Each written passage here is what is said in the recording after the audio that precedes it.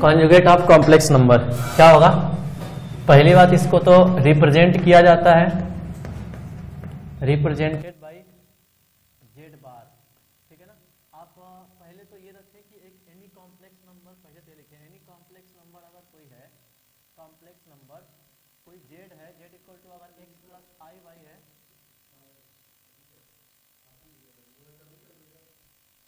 मेरा नहीं गया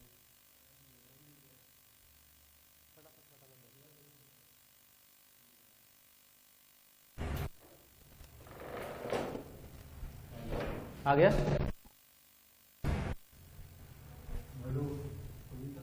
हाँ।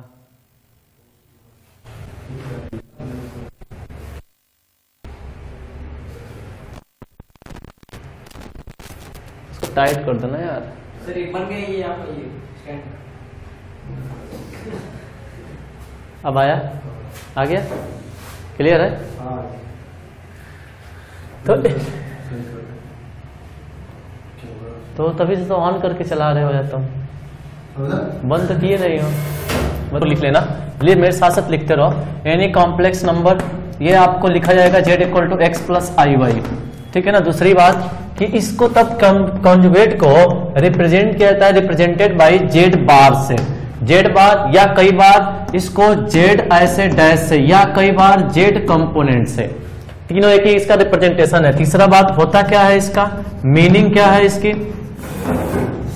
मीनिंग कुछ ऐसी है कि आपका अगर z is equal to X plus I Y है तो हमेशा i का साइन चेंज करेंगे, z bar equal to X minus I Y हो जाएगा। जैसे मान लो कि मैंने z इज़ इक्वल टू लिखा टू माइनस आई तो इसका z बार हो जाएगा टू प्लस आई सिर्फ़ आई का साइन चेंज होगा। जैसे बार z इक्वल टू मैंने लिखा minus three I plus four तो z bar is equal to हो जाएगा i का साइन हाँ आई का साइन पकड़ पकड़ के चेंज करेंगे तो I three I plus four जैसे मान लो कहीं Z is equal to minus two minus I है no minus two plus I है। तो फिर से आई का साइन पकड़ के, बाकी रियल पार्ट वाले को कुछ नहीं करेंगे। यहाँ माइनस आई हो जाएगा। बात समझ में आ रही है? कि माइनस टू माइनस आई हो जाएगा। ऐसा नहीं कि जैसे मान लो कि Z Z is equal to है अपने पास। Five three I minus four तो आप कभी जेड बार इक्वल टू ऐसे बीच में यहाँ प्लस प्लस नहीं करेंगे। आई का हाँ three I minus three I minus four ये हो गया। अगर इसको पोलर फॉर्म में लिखना हो कोऑर्डिनेट सिस्टम पे, यानी इसका फ़ोटो देखना हो कि फ़ोटो कहाँ होता है ये। तो देखो, बिल्कुल, जैसे देखो। ये है एक्स है, ये वाई है। मैंने एक जेड आपके सामने लिया कि यहाँ कहीं जेड होगा। जेड का मतलब है एक्स कामा अब जेड बार लिखना होगा तो जेड बार क्या हो जाएगा? एक्स बार ये जो जेड बार है क्या इस जेड बार को एक्स कामा माइनस वाई बन रहा है क्या ये? मतलब ये वाई का नीचे जस्ट बिल्कुल मिरर इमेज रियल एक्सिस के अबाउट मिरर इमेज हो जाएगा जेड एक्स माइनस वाई और ये हो जाएगा आपका जेड बार। मान लो कि मुझे यहाँ का इसका मिरर इमेज यहाँ लिखना हुआ तो ये हो जाएगा एक्चुअल में माइनस एक्स कामा वाई और माइनस एक्स कामा वाई का मतलब क्या हुआ? हम्म ज़रूर किसी ना किसी का ये निकल के आएगा। Minus Z bar. देखो तो। अच्छा। जेड बार देखो तो अरे इसका इसका देखो तो ध्यान से अगर हम इसका इसका माइनस करेंगे तो माइनस से प्लस हो जाएगा। हाँ। और देखो ये बात लिखा गया है है। यहाँ पे हो जाएगा तो ये देखो जरा Z minus six minus Y हो जाएगा। दोनों माइनस जाएगा तो हो जाएगा माइनस जेड और ये चारों मिलके एक बनाएँगे क्या? स्क्वायर ये चारों मिलकर क्या बनाएँगे? एक बोल सकते रेक्टेंगल बनाएँगे। क्या बनाएँगे चारों मिलके? एक रेक्टेंगल बनाएँगे। ये चारों मिलके एक रेक्टेंगल बनाएँगे। बात समझ में आ रही है? ये चारों पॉइंट मिलके रेक्टेंगल बनाएँगे। ये इसका मिरर इमेज है, ये इसका मिरर इमेज है, ये इसका मिरर इमेज है, इसका मिरर इमेज ओरिजिन के अबाउट ये है। तो ऐसे इसका फ़ोटो होता है, ठीक है? चौथे के बाद पाँचवें नंबर पे आते हैं। देखो, अपने पास जेड इज़ इक्वल टू है X plus I Y Z bar is equal to हमको पता चल गया है एक्स माइनस आई वाई जरा हम दोनों को जोड़ दें। जेड प्लस जेड बार करेंगे तो क्या मिलेगा? जरा देखो तो बच्चों। क्या मिल रहा है? टू एक्स मिल रहा है क्या? और ये टू एक्स का मतलब ये हो गया कि two real part of Z मतलब हमेशा जेड प्लस जेड बार की value I two real part of Z अच्छा जरा बताओ इनको घटा देते हैं जरा जेड माइनस जेड बार बताओ क्या आएगा? हमने जैसे इनको घटाया, x से x कट गया आई वाई और आई वाई मिलकर two I I two I Y हो गया। मतलब ये हो गया आपका टू आई वाई इसका मतलब मैं लिख सकता हूँ two I into imaginary part of Z और जरा देखो फाइनली जो इस बात पे हम पहुँचे हैं वो ये बात यहाँ पे याद करने वाली सातवें नंबर छठे नंबर पे बात है। वो याद करने वाली बात ये है कि रियल पार्ट ऑफ़ जेड जब भी आपसे पूछा जाएगा ना तो रियल पार्ट ऑफ़ जेड हो जाएगा Z plus Z bar by two सबसे सही तरीका यही होता है। Z plus Z bar by two ये बहुत। एकदम बहुत हमेशा यही करेंगे। और imaginary part of Z is equal to आपका ये याद रखेंगे। Z minus Z bar by two I देखो तो इमेजनरी पार्ट ऑफ़ जेड जाएगा। Z minus Z minus Z bar by two I ये वाली बात जाके। हमेशा यही बात करेंगे, जब भी इमेजनरी बात पूछेगा और रियल बात पूछेगा, ठीक है? इधर काटाते हैं हम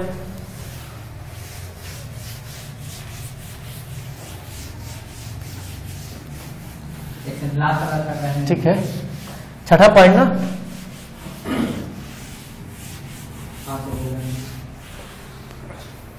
आते हैं सातवें नंबर पे। जैसे मान लो कि कभी ये कोई पूछे जैसे मान लो कि कोई भी दे दे कि अगर आपका कोई इमेज कोई आपका अ, अ, कोई कॉम्प्लेक्स नंबर है मतलब एनी कॉम्प्लेक्स नंबर या हम ऐसे कहें कि Z is of purely purely real purely real अगर जेड कोई एक कॉम्प्लेक्स नंबर है जो प्योरली रियल है, इसका मतलब ये होता है कि इसका इमेजनरी पार्ट कैसा है? बोलो, इसका इमेजिनरी पार्ट कैसा है? ज़ीरो और इमेजनरी पार्ट ज़ीरो होने का मतलब क्या चीज़ है आपका? Z minus Z bar by two I किसके बराबर? इसका मतलब कि जेड बराबर जेड बार है। ये ज़्यादा इंपॉर्टेंट है। ये बात समझ में? कि जब भी आपको कोई जेड इज़ प्योरली रियल बोलेगा जेड इज़ प्योरली रियल आप ऐसे भी सोचो कि एक जेड मतलब मैंने कहा टू और इसका टू बार भी यही रहेगा। आई वाला पार्ट तो ज़ीरो है। तो जब भी आएगा जेड इज़ प्योरली रियल तो आप ये वाली बात इसके साथ साथ ये काम करना है कि Z is equal to Z bar आपको करना है। ये वाली बात ध्यान रखने वाली बात है। आठवें नंबर पे आते हैं। अगर मान लो बोलता है Z is purely imaginary Z is purely imaginary इसका मतलब ये हुआ कि रियल पार्ट ऑफ़ जेड क्या हो जाएगा आपका? ज़ीरो यानी आपका Z plus Z bar by two is equal to zero मतलब आपका Z is Z plus Z bar is equal to zero तो जब भी सवाल में आपके सामने आया कि जेड इज़ प्योरली इमेजनरी तो इसको दो पार्ट में हम बांट देते हैं। दो पार्ट दो ब्रांच में दो तरीके से इसको सोचते हैं। एक तो ये कि जेड बराबर कुछ हमने ले सकते हैं लेमडा टाइम आई क्यों लेमडा टाइम आई क्यों ले सकते हैं? क्योंकि प्योरली इमेजनरी है तो कुछ समथिंग मल्टीपल ऑफ़ आई होगा। नहीं Z Z Z is purely imaginary मतलब जेड लेमडा आई या Z plus Z bar is equal to zero इन दोनों में से कोई एक यूज़ करेंगे जैसा सवाल का रिक्वायरमेंट होगा वैसा। हाँ? नहीं ज़रूरी नहीं है। जब सवाल जब जेड ज़्यादा बड़ा हो तो ये इस पे काम करेगा। कई बार रेशियो होगा तो इस पे काम कर जाएगा। जब रेशियो होगा तो बोलो जेड बाय जेड बार का रेशियो होगा तो लेमडा तो वही रह जाएगा। आई का साइन चेंज करेगा आंसर मिल जाएगा। बात समझ में आ रही है? अब आते हैं। तो दो केस लेंगे। दो केस हो सकता है मतलब दोनों में से कोई भी अपन कोई हो। भी सोच सकते हैं। कि या तो Z equal to lambda time I होगा। कोई भी एक आई का मल्टीपल प्योरली इमेजनरी में रियल पार्ट गायब हो गया। और आपका या Z plus Z bar equal to zero दोनों ही मैक्सिमम टाइम यूज़ होते हैं। सवाल अपने आप बताता है कौन सा वाला यूज़ करना है। जैसे रेशियो हुआ तो ये यूज़ कर लेंगे। रेशियो नहीं हुआ तो ये यूज़ कर लेंगे। आते हैं इसके प्रॉपर्टी पे।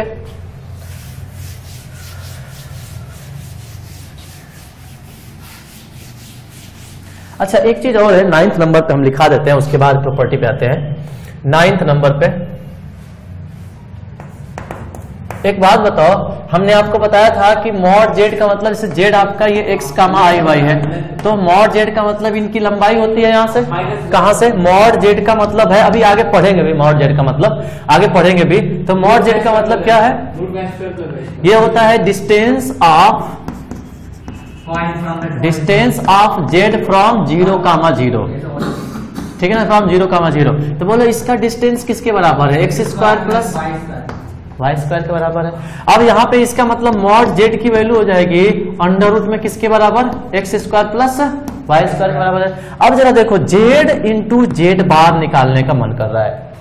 जेड इंटू जेड बार अगर जेड को कहे तो ये एक्स प्लस आई वाई है। हाँ और ये एक्स माइनस आई वाई है जेड बार दोनों का मल्टीप्लाई किया जाए, क्या ये A square minus B square मतलब A X square minus I Y का स्क्वायर क्या ये I square plus X square plus Y square हो गया? मतलब जेड जेड बार की वैल्यू मॉड जेड के स्क्वायर के बराबर आ गया क्या?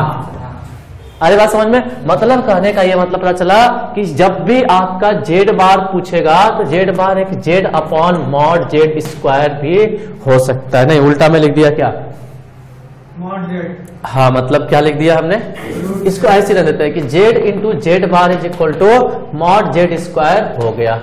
या इसको हम ये लिख सकते हैं कि जेड इज़ इक्वल टू कभी पूछेगा तो mod Z square upon Z bar ले सकते हैं या Z bar is equal to mod Z square upon Z ले सकते हैं सवाल के रिक्वायरमेंट के हिसाब से। अब आते हैं प्रॉपर्टीज़ इसकी अगली प्रॉपर्टी प्रॉपर्टी इसकी प्रॉपर्टीज़ पे।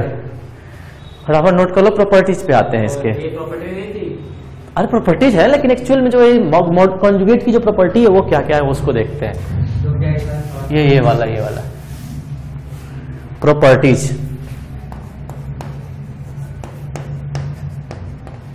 प्रॉपर्टीज़ कितने? नाइन्थ तक हो गए थे ना टेंथ प्रॉपर्टीज़ जो दसवीं से स्टार्ट कर रहा हूँ मैं।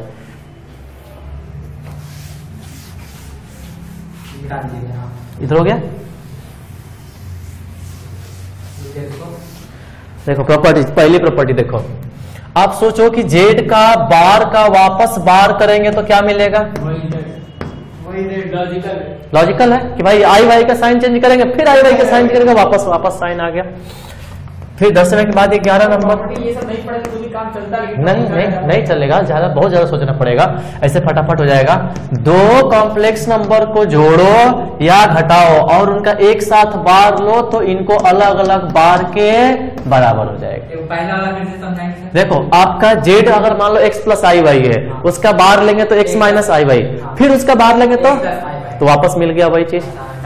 डबल बार में वापस आ गया। दो प्लस है तो ये हो जाएगा। या इसका extended form plus Z two plus Z three plus Z four dot dot dot Z N तक अगर है और ये सबका अगर बार है तो सबको अलग अलग हो जाएगा। Z one bar plus Z two bar plus Z three bar plus dot dot dot dot plus Z N bar. हाँ बिल्कुल। अच्छा ग्यारह नंबर पे आपका बारह नंबर पे। दो कॉम्प्लेक्स नंबर Z1 Z2 का Z1 Z2 का बार इसका मतलब ये हो गया Z1 का बार इंटू Z2 का बार अरे बात समझ में? दो का मल्टीप्लाई करके बाहर निकालना। है। सब कुछ ओपन कर देता है। या अगर आपके पास Z1, Z2, Z3, Z4 dot dot Zn तक हो तो इसकी वैल्यू अगर सबका बार है ये तो Z1 bar into Z2 bar into Z3 bar into dot dot Z Zn bar ठीक है? फिर आपका 10 11 के 12 के बाद 13 नंबर पे आते हैं।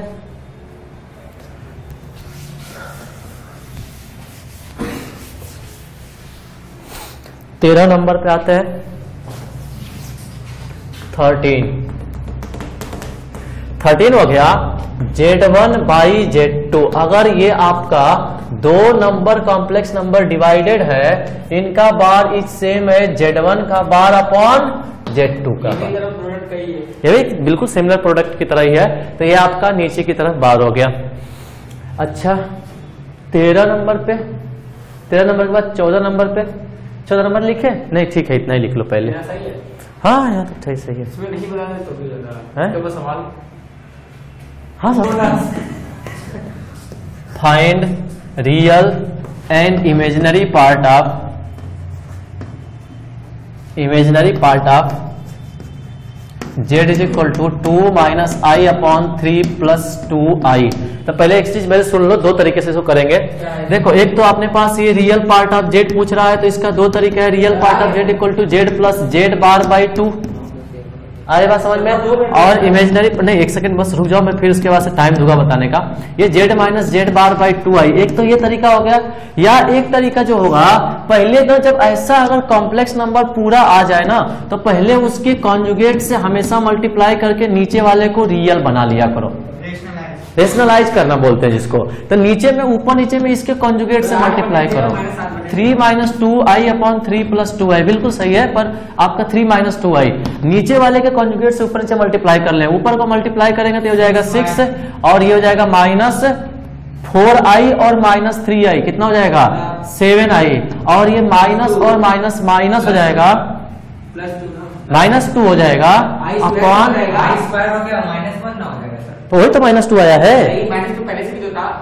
माइनस माइनस प्लस फिर टू आई स्क्वायर ये plus two I square upon नीचे में थ्री का स्क्वायर माइनस टू आई का स्क्वायर ये हो गया छ माइनस दो चार minus seven I upon nine और प्लस फोर थर्टीन तो रियल पार्ट हो गया इसका फोर बाई थर्टीन और इमेजिनरी पार्ट हो गया इसका माइनस सेवन बाई थर्टीन ये तो नहीं, अभी के लिए तो बहुत सही है।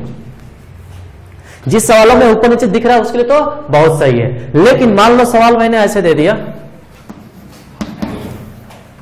If Z is a complex number if Z is a complex number अगर जेड कोई एक कॉम्प्लेक्स नंबर है such that such that z minus 1 upon z plus 1 is purely imaginary is purely imaginary purely imaginary then then mod z की value क्या होगी या अगला सवाल या बस यही एक सवाल ले लेते हैं जरा करो इसको या एक सवाल ले लेता हूँ यहाँ पे कि अगर real part of one by Z is less than half then locus of Z और हमने बहुत सर्कल में लोकस का सवाल किए हैं। देन लोकस ऑफ़ जेड ठीक है जल्दी करो फटाफट। प्रॉपर्टीज़ का यूज़ करेंगे ना। Z is a complex number कह रहा है ये पूरा का पूरा कैसा है? प्योरली अब देखो, कोई भी मैंने कहा, देखो, अब मैंने क्या कहा कि अगर कोई प्योरली जैसे मान लो मैंने कहा कि एक u है, u एक कॉम्प्लेक्स नंबर है, सोचना जरा ध्यान से। U एक कॉम्प्लेक्स नंबर है और मैंने कहा कि ये पूरी तरह से प्योरली इमेजनरी है और प्योरली इमेजनरी है, इसका मतलब क्या हुआ कि z z plus u plus u bar क्या हो जाएगा? इज़ इक्वल टू ज़ीरो समझ रहे हो? अरे यू एक कॉम्प्लेक्स नंबर है। जेड के बजाय कौन सा कॉम्प्लेक्स नंबर लिखा यू अब जरा देखो हमने मान लिया कि यही जो यू है वो है z plus one z minus one upon z plus one मैंने मान लिया कि जो कॉम्प्लेक्स नंबर लिखा है वो z minus one z plus one है यू के बराबर है। ये कॉम्प्लेक्स नंबर अरे पूर, अरे क्या भाई ये तो बोला है सवाल में कि पूरा ही कॉम्प्लेक्स नंबर है। और ये कह रहा है कि ये कैसा है? प्योरली इमेजिनरी और प्योरली इमेजिनरी हुआ नहीं नहीं, यही तो पूरा बोला है कि यही जो नंबर मैंने इसी को पूरा कॉम्प्लेक्स नंबर मान लिया। पूरे को ही मान लिया है कॉम्प्लेक्स नंबर अगर ये प्योरली इमेजिनरी है, इसका मतलब ये हुआ कि u प्लस यू बार की वैल्यू कितनी हो जाएगी? मतलब z minus one upon z plus one माई प्लस जेड माइनस वन आप बता रहे हैं ना? जेड प्लस वन इस पूरे का बार हो जाएगा किसके? ज़ीरो के बराबर। अब इसको पूरे को उधर लेके चला गया मैं।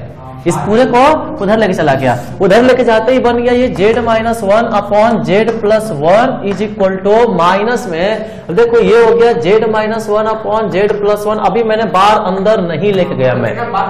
हाँ। बस वो तो खुद ही खोलते हैं ना। हम जानबूझ के सस्पेंस क्रिएट कर रखे हैं अभी तक।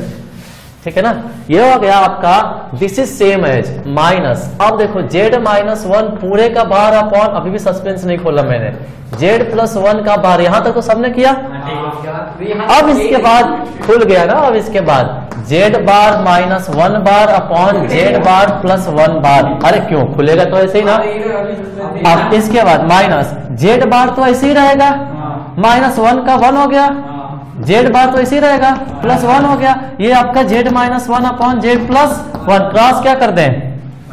क्रॉस मल्टीप्लाई क्रॉस मल्टीप्लाई करेंगे देखो जेड जेड बार फिर प्लस जानबूझ के इतना टाइम खींचा हूँ ये।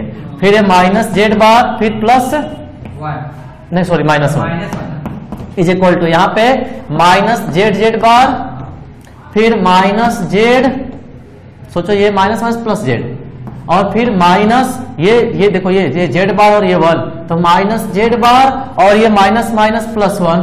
ठीक है? जेड बार से जेड बार कट गया, जेड से जेड कट गया, जेड बार ये टू, जेड जेड बार हो गया। इज़ इक्वल टू टू बोलो Z Z bar mod Z का स्क्वायर अरे अभी लिखे पीछे। इज़ इक्वल टू वन तो mod Z is equal to one plus minus one ना। मॉडुलस डिस्टेंस होता है। हाँ, बहुत सही तरीका है अरे बात समझ में? कभी भी ये जब अगर उधर नहीं लेके गए समस्या बढ़ गई। सर ये तरीका सही है। तो अरे उससे करेंगे तो बहुत टाइम लगेगा। नीचे का ऊपर कॉन्जुगेट मल्टीप्लाई करते करते फिर लास्ट में x square plus y square की वैल्यू निकालना बड़ा कठिन काम हो गया। ठीक है? दूसरे सवाल पे आते हैं। ठीक है? नोट कर लो।